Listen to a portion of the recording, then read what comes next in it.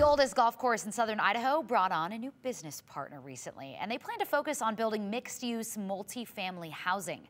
The River Club on State Street near Pierce Park in Garden City announced yesterday Lincoln Property Company closed on an ownership stake in the club. The owner, uh, I should say the former owner, River Club's current owner, that is, Will Gustafson, will stay on as managing partner. He's going to help Lincoln Property with their development projects. In a statement, Gustafson said, This is the next phase of the long term vision we've held for this property, bringing exciting development along State Street as we continue to maintain and revitalize one of Idaho's oldest golf courses. It's been a three year process searching for the right partner, and we're excited to work with Lincoln Property Company to bring this concept to life. Gustafson bought the property back in 2018. He's been working to improve the club ever since. The River Club, River Club was formerly known as the Plantation Country Club, somewhere you find Mark Johnson at frequently, but the name has changed to be a little bit more inclusive.